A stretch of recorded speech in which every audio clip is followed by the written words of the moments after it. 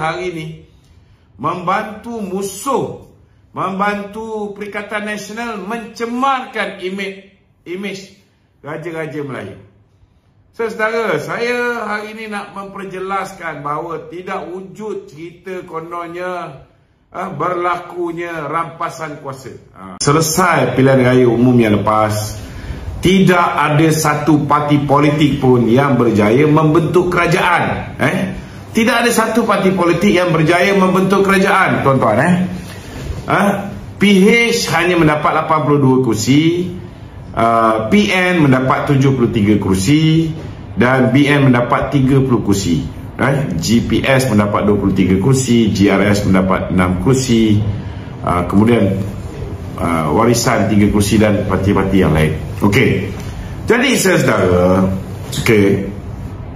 Apa yang berlaku dan uh, ke bawah dulu yang Maha Mulia Seri Paduka Baginda Tuan Agong telah memberikan tarikh sebelum 2 petang hari Isnin untuk semua parti membuktikan bahawa mereka mempunyai majoriti.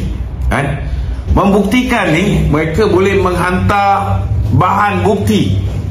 Tapi tidak bermakna bahawa apa yang mereka hantar itu terbukti benar. Yang ini yang Raja Petra tak faham Tan Sri Muhyiddin betul lah Tan Sri Muhyiddin adalah orang yang pertama menghantar 115 SD untuk menyokong dakwaan dia bahawa dia ada cukup numbers untuk membentuk kerajaan. Tetapi yang Raja Petra tak faham bahasa dan tak tahu apa-apa. Kau dah duduk Manchester tu, duduk duduk je lah sana diam-diam. Jangan kacau orang kat Malaysia ni. Eh? Yang dia tak faham, dekat Malaysia sudah ada akta anti lompat parti.